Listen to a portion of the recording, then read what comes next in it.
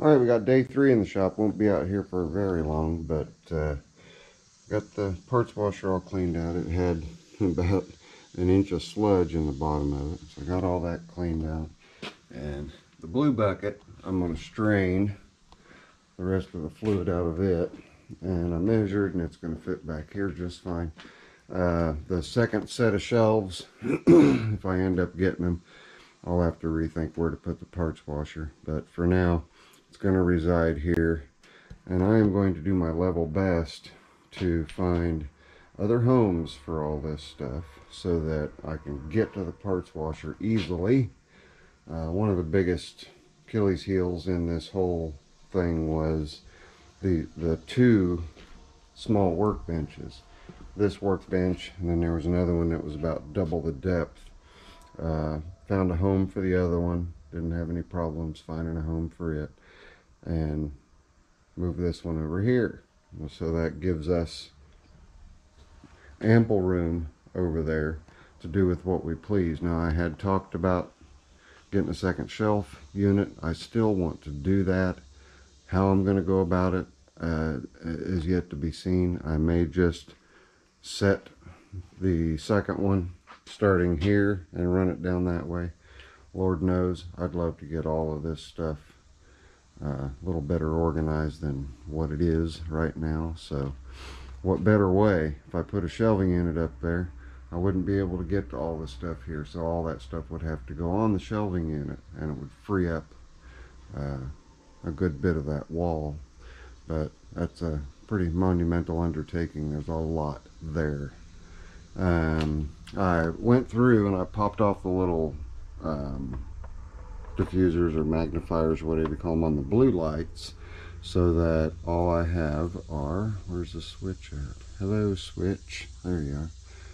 All I have is just the white lights. I know it looks kind of funny, but I've got plenty of light there. Um, just ran a triple tap off of an extension cord uh, for now so I can get the parts washer plugged in and I've had people ask in the past, what do I use for parts washer fluid? Well, that's one item that I use right there is diesel. And then the other item that I use is right there. Mineral spirits. Mineral spirits and diesel. That's all I use. Uh, yes, I always wear gloves when I'm doing it, so don't freak out about that.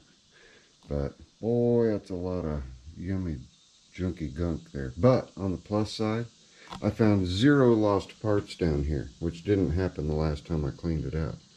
So I guess that's a good thing, right? Um, this is just a little repurposed. It was a, an outside um, chair side table and cut it up, bent it up, cut the legs off and repurposed it as my elevation and then that material there is actually stainless. And uh, I acquired that from my buddy Jeff quite some years ago so I just formed it around. And it's worked marvelously. And then my small parts is actually just a uh, grass catcher screen from a Briggs engine. So all my little parts just get trapped on that and don't end up down in the drink so whatever works, use what you brung, right? Um, and that oil pan it had been sitting in there for quite some time. Uh, it'll get hung up over there where those five are hanging, so then I'll have six. But other than that, we're just plugging along. So as soon as I get this moved over there, get everything strained, there's my strainer, so I can strain all the big chunks out well, this is a passive kind of a waste pump type of deal, so it will pick the junk up and spit it out too. The only problem is it can come down to the end and clog the brush. So, uh, fortunately, I've not had that problem with it as of late.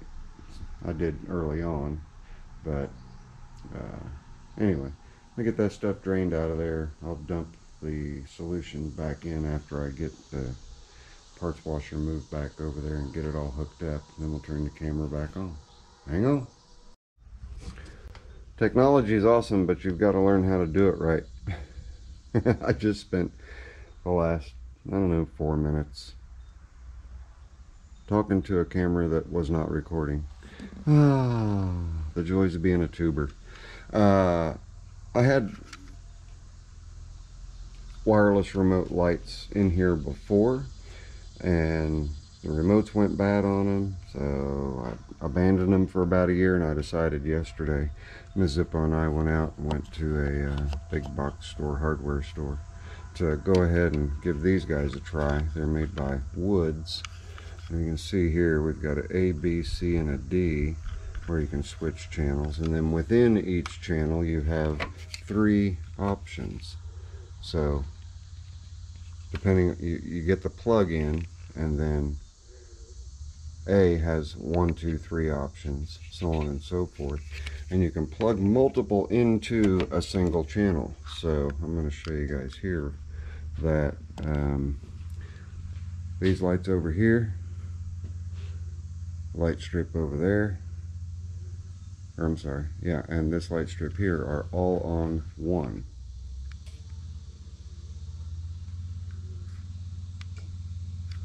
So there is one receiver on each of those three light strips. Um, and they're all set to the same program key on this. So I could get up, you can, I could add up to nine of these and operate them all independently depending on the uh, button that I push. And before I close out, I do want to thank uh, Mr. Willie CK very much I, and apologize that I didn't pop the camera on, but if you look right there, that bottle opener came compliments of Willie CK. Uh, so thank you very, very much, Willie. Then I found this 4-in-1, patented September 13th of 1910. Uh, I found this yesterday, just or Saturday on our travels. Uh, made by the J.C. Forster and Son in Pittsburgh, PA. Uh, it's a 4-in-1 jar, bottle, can opener. Very unique not one that I've ever seen before. And the funny thing was, in that antique store, there were two in two different uh, sellers sections. So it was kind of crazy. But anyway, now I am recording. And that was pretty much all I said in the first take where I didn't hit the record button. So I'm going to commence to doing what I said in the first part of the video. And I'll see you guys when that parts washer makes its way over there. All right, wasn't a big deal. We got it over here. And I'm not leaking, so that's a good thing. Put my hanger back up, just put it on the beam here. That just holds the lid up for me. Nice good flow. Added about three gallon of fluid into it.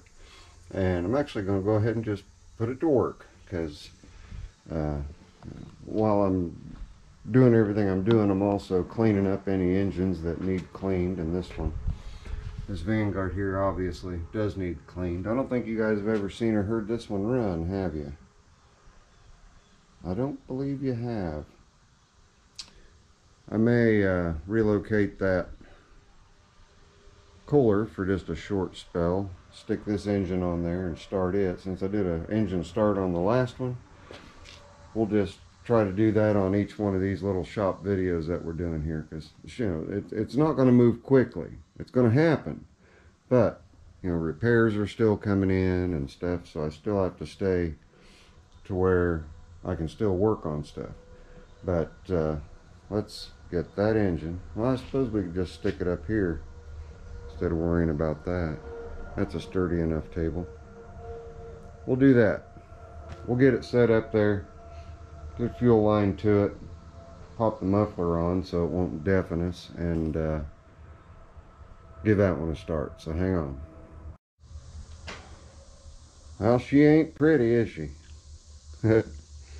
All right, let's see what we got. I already checked the oil, uh, primed the fuel. I just pressurized the gas tank.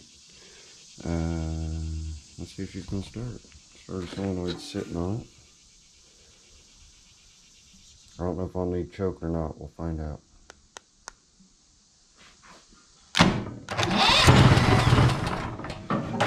Might need a little choke. I'm dropping stuff all over everywhere. Hang on. Hmm. I suppose I could just come over here and pull the trigger with the hand I'm holding the GoPro with. Get some choke. Boy,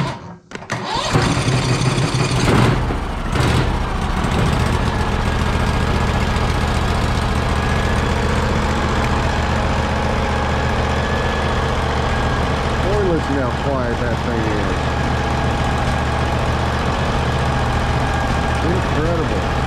That is super, super quiet. Wow. And a little bit of sputtering. That's just incredibly quiet.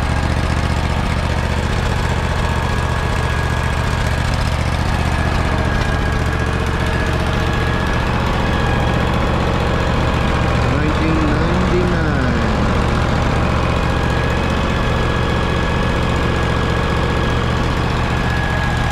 Wow, I can't believe how quiet that is. I'd forgotten. Did whack off about a foot of the exhaust pipe that was on that muffler.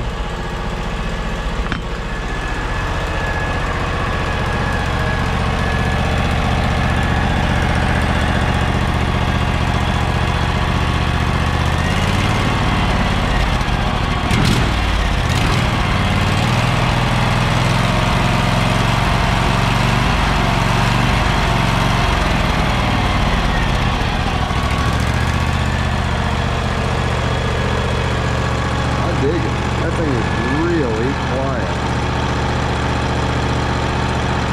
Wow. Super quiet.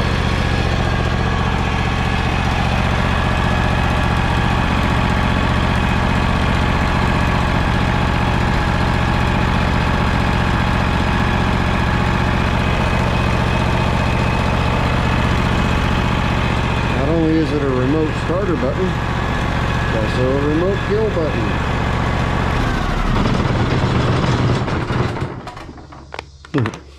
Everything on the table rattling. Wow, it runs so smooth and so quiet. That's impressive. I mean, I've heard quiet Vanguard. That's, it's just, but wow. That surprised me that that was as quiet as it was. Uh, well, I'll let it cool down a bit and I'm going to go put it in the parts washer and slap some of the dirty off of it. I'll just leave it assembled for now. Just do a quick cleaning. But, wow, I'm impressed. All right, gang. Well, that does it. This is your friendly neighborhood Zippo. It is noon, according to all of the clocks. And, uh, about time for me to eat some lunch. So, I'm going to eat some lunch, then I'll come back out and we'll stick that thing in the parts washer and get it cleaned up. And you know, I'll pop the camera back on real quick just to give the engine a photo op after a little bath. And then we'll call it quits.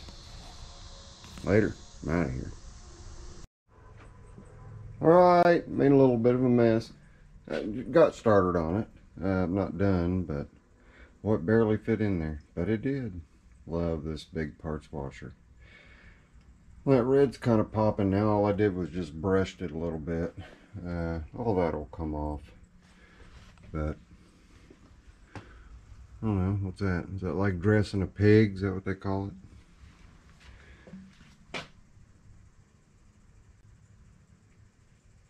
Boy, those are good engines. I really like those engines. Again, it's a 1999, so it's a 21 year old engine that runs as well as it does.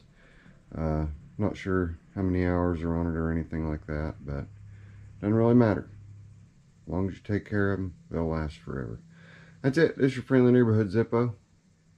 We've got this part of the uh, little shop turnaround taken care of. Made me a little mess here and we'll have to get a mat down there. But that's uh, going to wrap it up for another edition of the shop. Still a long ways to go, but every little bit counts, right? All right. I'll see you guys on the next one. Don't forget, Be part of the solution, not the problem. Hit that subscribe button for me. Thanks. Later. Out.